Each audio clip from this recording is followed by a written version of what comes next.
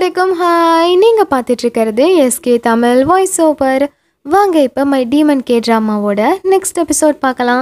Last episode இதில் முடிச்சிருப்பானா ஜெசங்க அவங்க அம்மா வந்து மீட் பண்ணிவிட்டு வீட்டுக்கு போனதுக்கப்புறமா அவங்களுக்கு ஒரு ஃபோன் வந்து அதில் எதையோ கேட்டு அவங்க மயங்கி விழுற வரைக்கும் பார்த்துருந்தோம். இந்த எபிசோடு இதுலேருந்து தான் கண்டினியூ ஆகுது. இப்போ நம்ம ஹீரோவை காட்டுறாங்க. இவன் என்ன பண்ணுறான் அப்படின்னா தோஹியை பார்க்கணுன்னு ஆஃபீஸ்க்கு வரான். அப்போ எதிர்ச்சியாகவே ஆப்போசிட்டில் அந்த சொக்குனுமே வந்து நிற்கிறான் உடனே சக்குன் ரொம்பவே தேங்க்ஸ் உன்னோட இந்த கிஃப்ட் எனக்கு ரொம்பவே பிடிச்சிருக்கு அப்படின்னு அவனோட கையை காமிக்க ஹீரோ உடனே நான் ஒன்றும் உன்னை பிடிச்சி போய் இப்படிலாம் பண்ணலை அப்படின்னு சொல்ல அப்போ சகுனும் என்னை மன்னிச்சிடு உன்னை பற்றி நான் ரொம்ப தப்பாக அண்டர்ஸ்டாண்ட் பண்ணிட்டேன். சாரி அப்படின்னு சொல்ல ஹீரோ உடனே நீ தப்பாலாம் எதுவும் அண்டர்ஸ்டாண்ட் பண்ணலை அப்படின்னு சொல்லிட்டு நேராக ஹீரோயின் ரூம்குள்ளே புகுறும் போது அப்போ தான் ஹீரோயினுக்குமே ஏதோ ஒரு ஃபோன் கால் வருது. அதில் அவள் கேட்ட உடனேயே ரொம்ப ஷாக் ஆகிடுறா. தென் அப்படியே டேர்ன் ஆக ஹீரோவும் சொக்குனும் ஆப்போசிட்டில் வராங்க. தோஹி அவங்கள பார்த்து ஜசங் செத்துட்டான் அப்படின்னு சொல்ல இவங்களுக்கே செம்ம ஷாக்கு பார்த்தா அவங்க அம்மா வந்து ஜெசங்கை மீட் பண்ணிட்டு போனதுக்கு அப்புறமா ஜெசங் அதே இடத்துலையே தற்கொலை பண்ணியிருக்கான். ஸோ அந்த விஷயத்தை இப்போ காட்டுறாங்க. கட் பண்ண நெக்ஸ்ட் டே ஃபியூனரல் நடக்குது. அந்த பிளேஸுக்கு ஜெசங்கோட அப்பா வந்திருக்காரு. அவர் ஜெசங் இறந்து போனதை நினச்சி ரொம்ப ஃபீல் பண்ணி அழுதுட்டுமே இருக்காரு. இதை பின்னாடியிலேருந்து ஜெசங்கோட அம்மாவுமே பார்க்குறாங்க ஆனால் அவங்க ஒரு மாதிரி கோவமாக ரெஸ்ட் ரூம்குள்ளே போய் கையை பார்க்குறாங்க பார்த்தா அவங்க கையிலையுமே ரொம்ப காயமாக தான் இருக்குது தென் அவங்க ரெஸ்ட் ரூம்லேருந்து வெளியே வர சுக்குன் வந்து பேசுகிறான் உங்களுக்கு தண்ணி ஏதாவது வேணுமா? கண்டிப்பாக உங்களுக்கு இந்த டைம் ஷாக்காக தான் இருக்கும் அப்படின்னு சொல்ல. அவங்க உடனே இல்லை இல்லை நான் நல்லா தான் இருக்கேன் அப்படின்னு சொல்லிட்டு அங்கேருந்து போயிடுறாங்க. தென் நம்ம ஹீரோயின் போய் ஜெசங்கோட அப்பா கிட்ட பேசுகிறாங்க அப்பா அவர் உடனே இங்கே பாருமா நீ இவ்வளோ பிரச்சனையிலையும் இந்த இடத்துக்கு வந்ததுக்கு ரொம்பவே தேங்க்ஸ்மா ஏன்னா நான் கொஞ்சம் கூட எதிர்பார்க்கவே இல்லைம்மா. என் பையன் இப்படி மனநலம் பாதிக்கப்பட்டு என் அம்மாவையே கொல்லுவான்னு. கண்டிப்பாக இதை நினச்சி அவன் ரொம்ப ஃபீல் பண்ணிதாம்மா இந்த முடிவுக்கு வந்திருப்பான்.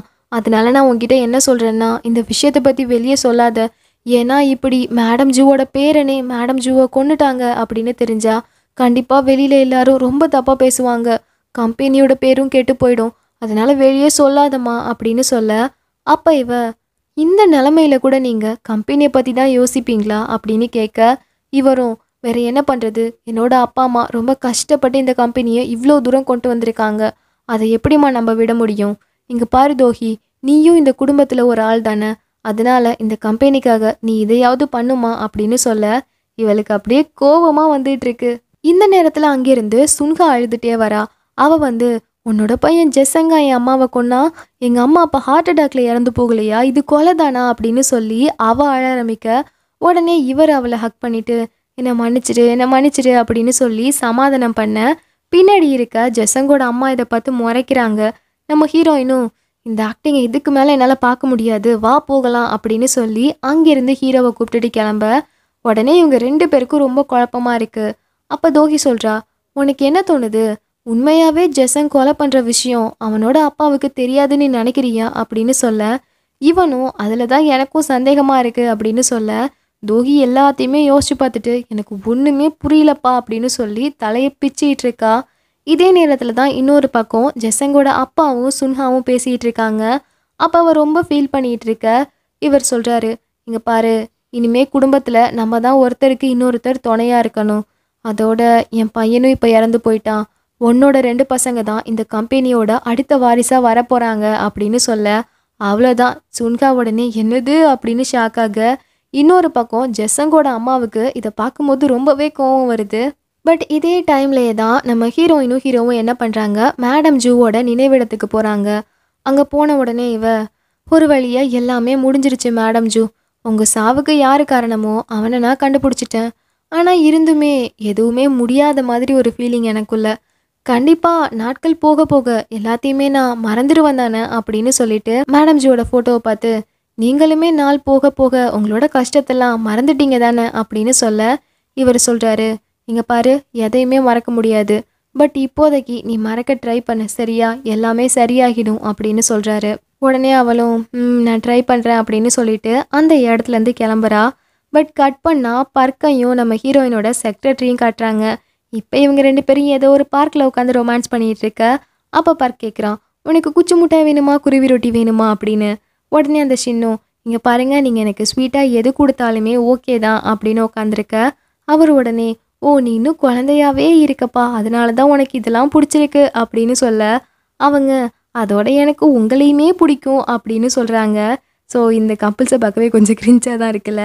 ஆனால் ஃபன்னாக இருக்குது பட் இவங்க இப்படி பேசிகிட்டே இருக்கும்போது திடீர்னு எங்கே இருந்தோ இந்த பார்க் இருக்கான்ல ஒரு ஷீட் எடுத்து கொடுத்து இந்தா இது எங்கள் கம்பெனியில் ஒரு டான்ஸ் பர்ஃபார்மன்ஸ் நடக்க போகுது அதுக்கு நீ கண்டிப்பாக வரணும் அப்படின்னு சொல்ல இவ உடனே சேச்சே அதுக்கெல்லாம் வாய்ப்பே இல்லை எனக்கு வேலை இருக்குப்பா அப்படின்னு சொல்லும் போதே திடீர்னு இவங்க கம்பெனியோட ஒர்க்கர்ஸ் இருக்காங்கல்ல அவங்க வந்து நிற்கிறாங்க இவங்கள பார்த்த உடனே ஷீன் போச்சுடா நான் மாட்டிக்க போகிறேன் அப்படின்னு சொல்லி டேர்ன் ஆகி நிற்கிறாங்க உடனே அங்கே இருக்க ஒர்க்கர்ஸ் எல்லாரும் சரி சரி இந்த லொக்கேஷன் நல்லாயிருக்கு இங்கே உட்காரலாம் வாங்க அப்படின்னு சொல்லி அந்த பிளேஸுக்கு போக உடனே இவளுக்கு என்ன செய்யறதுன்னு தெரியாமல் பர்க்கோட க்ளோஸாக இருக்க மாதிரி நடிக்க ஆரம்பிக்கிறா. இதை பார்த்த உடனே இந்த ஒர்க்கர்ஸ்க்கு முகமே மாறிடுது. ஐயையோ நம்ம ஒன்றும் இங்கே நிற்க வேணாம் வாங்க வாங்க போகலாம் அப்படின்னு சொல்ல உடனே இவங்களும் அதான் நல்லது போகலான்னு போகிறாங்க அப்போ அந்த பொண்ணு என்ன இந்த லேடி இப்படி பண்ணிகிட்ருக்காங்க இருக்காங்க? விட்டா அவனை சாப்பிட்ருவாங்க போல் அப்படின்னு சொல்லி திட்டிகிட்டே போயிட்டுருக்கா அண்ட் இன்னொரு பக்கம் ஜின்சுவை காட்டுறாங்க. இன்றைக்கி ஜின்சுவோட டான்ஸ் பர்ஃபார்மன்ஸ் ஒன்று இருக்கான் ஸோ அது இன்டர்வியூ எடுக்கணும்னு அங்கே நிறைய பேர் வந்திருக்க. நம்ம ஹீரோவும் ஹீரோயினும் கூட அங்கே பொக்கேவோட கிளம்பி போயிருக்காங்க. உடனே ஜின்சு வேகமாக கிட்ட வந்து இன்றைக்கி தான் நான் கொரியாவில் இருக்க போகிற லாஸ்ட் டே இன்னையோட கண்டிப்பாக இங்கேருந்து நான் போயிடுவேன். அதோட குவானுக்கும் இனிமே எந்த பிரச்சனையும் இருக்காது அப்படின்னு சொல்லிட்டு குவானை பார்க்க இப்போ கூட இவன் எதுவுமே பேச மாட்டான் அப்போ தோஹியும் நீங்கள் இருந்து போய் தான் ஆகணுமா அப்படின்னு ஜின்சு கிட்ட கேட்க அவ உடனே இந்த இடத்துல எனக்கு இருக்கிறது எல்லாமே சேடான மெமரிஸ் மட்டும்தான். கூவானை தவிர அப்படின்னு சொல்லும் போது பர்க் உடனே பஸ் நீங்களும் ஜின்ஸும் போய் கடைசியாக ஒரு ஃபோட்டோ எடுத்துக்கோங்க அப்படின்னு சொல்கிறான் உடனே ஜின்ஸுவும் வாங்க கடைசியாக ஒரு ஃபோட்டோ எடுத்துப்போம் அப்படின்னு சொல்ல இவனும் சரின்னு சொல்லிட்டு போய் ஜின்ஸு கூட சேர்ந்து ஒரு ஃபோட்டோ எடுத்துக்கிறான்.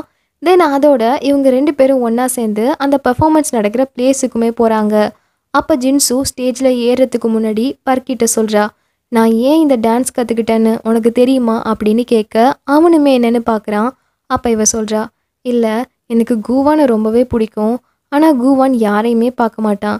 ஆனால் அவனுக்கு ஏன்னு தெரியல. இதே இடத்துல இருக்க ஒரு ஸ்வாட் டான்ஸ் பெயிண்டிங்கை பார்க்கும்போது அவன் கண்ணில் ஒரு பயங்கரமான எமோஷன்ஸ் தெரியும். அதே எமோஷன்ஸோட அவன் என்னையுமே பார்க்கணும்னு நினச்சேன். அதனால தான் அவனுக்காகவே ஸ்வாட் டான்ஸ் கற்றுக்கிட்டேன் ஆனால் நான் நினச்சது நடக்கவே இல்லை. கடைசியில் அவன் தோஹியை தான் பார்த்தான். இப்போ தோஹி கிட்ட நான் கம்ப்ளீட்டாக தோத்துமே போயிட்டேன். இருந்துமே நான் இனிமே என் வாழ்க்கை முழுக்க இந்த டான்ஸே தான் ஆடிட்டு இருக்கணும். அப்படின்னு சொல்லி அழுதுட்டு அவ டான்ஸ் ஆடுறதுக்கு ஸ்டேஜில் ஏறுறா. அண்ட் டான்ஸுமே நல்லா ஆட ஆரம்பிக்கிறா. பட் இதை குவான் கீழே இருந்து பார்க்கும்போது அவனுக்கு பாஸ்ட் எல்லாமே ஞாபகம் வர ஆரம்பிக்குது. ஃபஸ்ட்டு ஃபஸ்ட்டு இவன் மீட் பண்ணது அதுக்கப்புறம் இவன் ப்ரப்போஸ் பண்ணது லவ் பண்ணது ஃபைனலாக இறந்து போனது அப்படின்னு எல்லாமே ஞாபகத்தில் வந்துட்டே இருக்க. அவனுக்கு ஆட்டோமேட்டிக்காக கண் கலங்கி அழுகையாக வருது. இதை தோஹியும் பார்த்துட்டு குவான் நீ ஓகே தானே? அப்படின்னு கேட்க அவன் உடனே நான் மனுஷனாக இருக்கும்போது நிறைய பேரை கொண்டுட்டேன் அப்படின்னு சொல்கிறான் உடனே இவ என்னது கொண்டுட்டியா அப்படின்னு கேட்க இவனும் ஆமாம் நிறைய பேரை கொன்னுட்டேன் ரொம்பவே நிறைய அப்படின்னு சொல்ல இவளும் அப்போ கண்டிப்பாக அதுக்கு பின்னாடி ஏதாவது காரணம் இருக்கும் தானே அப்படின்னு கேட்குறா. அப்பா அவன் ஆமாம் நான் எல்லாரையும் கொண்டுட்டேன் என்னை நேசித்தவங்க நான் நேசித்தவங்கன்னு எல்லாரையும் கொண்டுட்டேன் ஏன்னா அவங்க எல்லாரும் நான் விரும்பின அந்த பொண்ணை கொண்டுட்டாங்க அதனால தான் ஆனால் இப்போது அதுவே எனக்கு ஒரு பயமாக மாறிடுச்சு. ஏன்னா புல்ஷிம் இறந்து போனதுக்கு நான் தான் காரணம். நான் மட்டும் அவ கூடவே இருக்கணும்னு நினைக்காம இருந்திருந்தா கண்டிப்பாக அவள் உயிரோடு தான் இருந்திருப்பா. ஆனால் அதுவே எனக்கு இப்போது இன்னொரு பயத்தையும் கொடுக்குது.